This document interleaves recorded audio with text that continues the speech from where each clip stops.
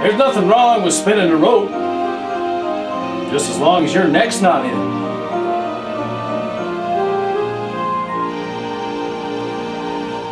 As a kid I tied some knots, I learned to make a loop, spun it horizontal to the ground, practiced lassoing the fence posts and most anything I found. I'd even rope my sisters if they dared to come around. This pastime was my solitary skill. And people asked what will become of Will. So I told them, give a man enough rope, give a man enough rope, and he can hang himself or not. That is the choice that he has got. He could wind up hanging down from a tree. Or he could spin himself a life, that's what happened to me.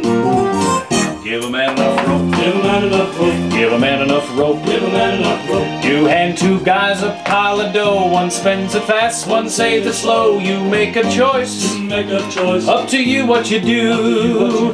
This act ain't much, but through it, I met kings and queens and I got to meet you. Everybody spins with a different twist. Some use elbow grease, some just flick the wrist. If you want to aim for a great big O, go for broke, just let her go.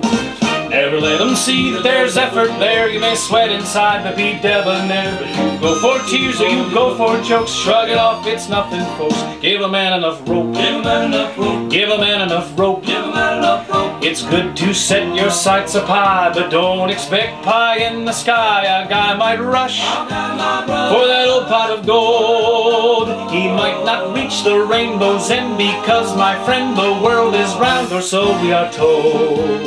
Or so we are told. A guy could choose to run a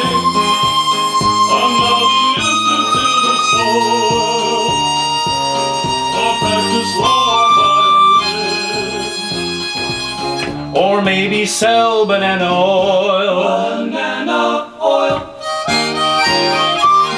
One builds a farm, one writes a song. One digs a ditch, one teaches. But from the day I came along, I've always been a roping fool. He's just a roping